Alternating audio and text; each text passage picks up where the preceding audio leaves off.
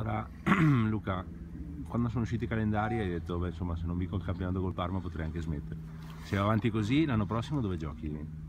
Ma eh, era, era una battuta, Ah, lo so, insomma, lo so. normale che insomma, non, vincere questo, non vincere questo campionato sarebbe un peccato veramente, un peccato veramente grande. Insomma. eh. siamo partiti bene, insomma, la preoccupazione principale un po' di tutti era la partenza. Siamo partiti bene e speriamo di continuare, di continuare così. Ecco.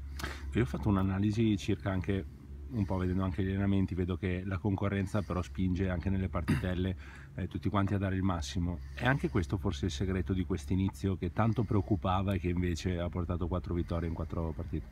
Ma sicuramente soprattutto là davanti c'è una grandissima competizione, ecco. credo che se, una se la competizione è positiva, tutti si mettono eh, con la testa giusta, eh, credo che sia una cosa, una cosa positiva. Ecco.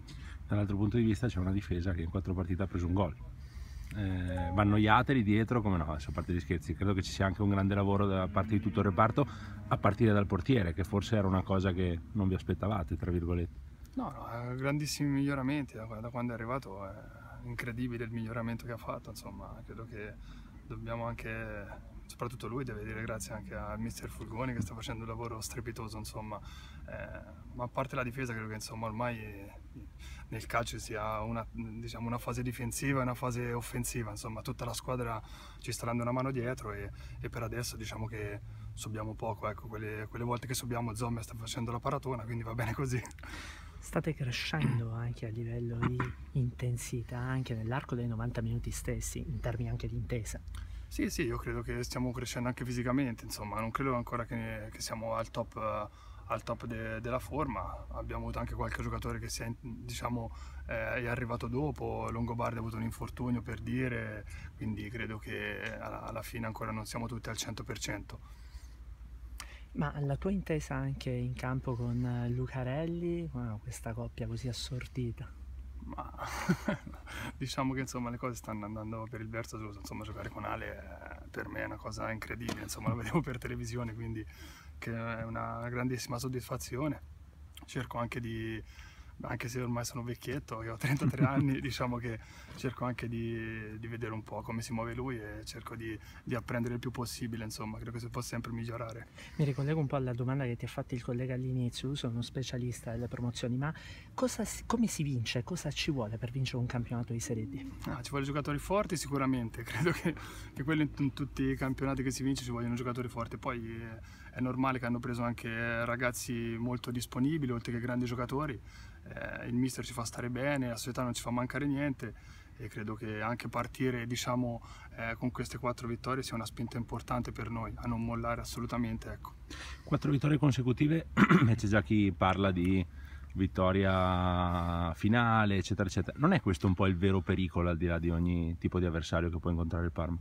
Ma, eh, ho, ho, letto, un po' visto, so, tutti credono che il campionato sia già finito, ma io, io invece sono convinto che saranno momenti difficili nell'arco di un campionato ci sta che una squadra in un certo momento abbia un momento di difficoltà, che può essere fisica, può essere di, di, di mille cose. Ecco.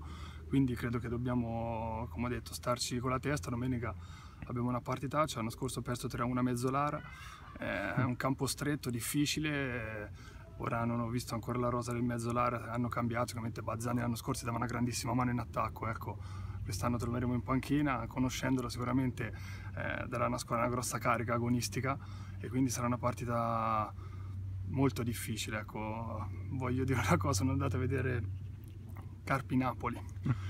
Eh, le squadre che si chiudono è difficile vincere le partite, ecco. non, non, è stato un caso che noi con l'Alto Vicentino abbiamo fatto la miglior partita diciamo, dell'inizio del campionato perché loro ci, davano spazi, sono venuti a giocarsi a viso aperto, invece la troveremo sicuramente a Mezzolara come ad Arzignano, una squadra che, che si chiude e sarà difficile fare gol.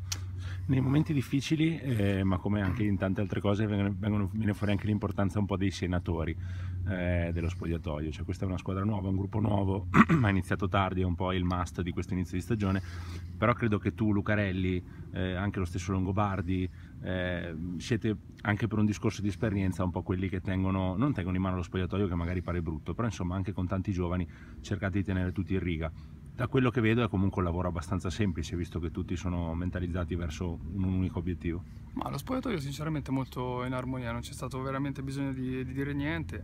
Eh, bene o male sono tutti ragazzi che vengono da primavera o hanno avuto già esperienze in Serie D, quindi insomma sanno come comportarsi dentro uno spogliatoio e come, come ho detto anche all'inizio eh, di questa avventura che ho iniziato, per loro è un'opportunità incredibile iniziare a giocare a Parma eh, credo che sia un'opportunità importante, soprattutto per i giovani, per fare una scalata importante. Ecco.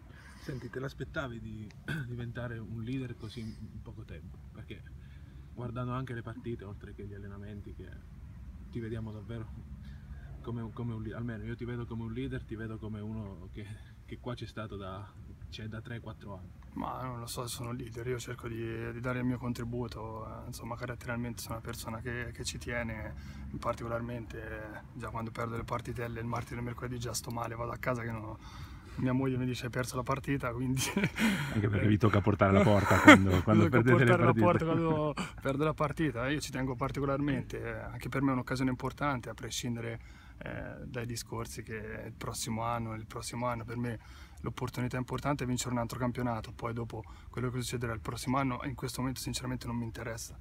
L'obiettivo di tutti è cercare di, di, di, portare immediatamente il Parma nel calcio professionistico, questo è l'obiettivo principale di quest'annata. Tornando un attimino alla partita con Alto Vicentino, io personalmente da su ho visto una, una, squadra che si è imposta, che ha imposto il proprio gioco, che ha detto qua comandiamo noi, in questo girone comandiamo noi, vogliamo vincere a tutti i costi.